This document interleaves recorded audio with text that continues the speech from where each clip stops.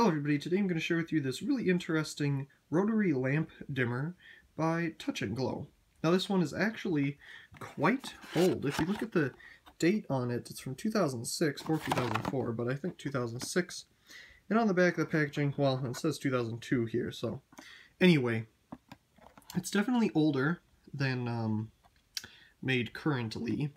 I got this at uh, my local Menards, and uh, these uh, Menards that I am local to, uh, they always have things that they find and it's old and they sell it anyway. Um, but whatever, sometimes you find some really cool things like this for a really decent price. I picked this up because I left my other dimmer that I use for videos down at college, and this one's really interesting because it doesn't have a 150 watt limit on it. This one is, has a 300 watt incandescent limit. So a lot more power can be used through this one than the other one that I was currently using. So we'll take a look at this thing. It's very neat. Definitely a lot bigger than the other one that you may have seen in some of my other videos. Large capacity, 300 watt. Shows you how it goes in there.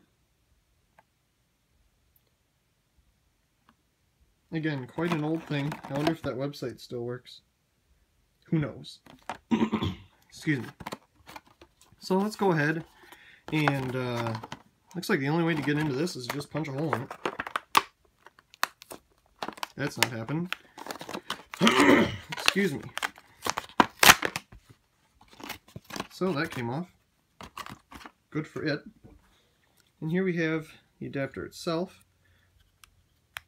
Looks like there's even an off switch. Hey, that's pretty neat. Oh, weird, it clicks. The other one was just total rotary, where you could put it at any setting you wanted. This one clicks. Interesting. So here's some information, warning information, and I'm assuming, I'm not really going to read it. Again, from 2004 or 2006. April 2006 is my guess. Really nice brass base on it though.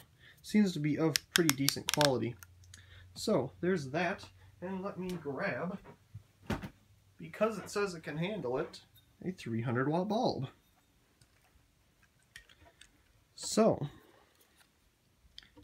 make sure that's off. And that's how it would look in your socket. Then you put in your gigantic bulb because I don't know why you'd need this in your lamp.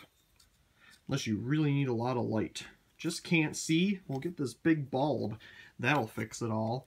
Anyway. Oh yeah, it's off. Sorry about that. Okay. That hums. So I'm just clicking it.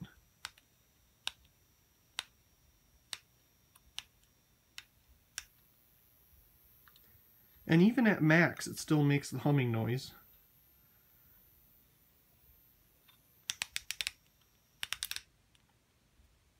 I do think it's nice that it has the off feature though, that's pretty nice. So that's as dim as a 300 watt bulb can get on this thing. But very neat. This bulb was just in use, that's why it's all dirty.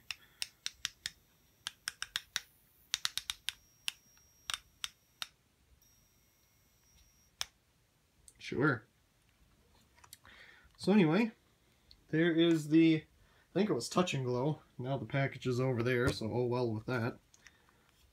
Touch and Glow rotary dimmer for your lamp socket. That's pretty much what it is. It is weird that it, you have to turn it and it clicks. Now the other ones that support lower wattages don't click like that. But very cool. Anyway, I really hope you enjoyed this video about this really interesting device. And also please comment, rate, and subscribe, and thank you very much for watching.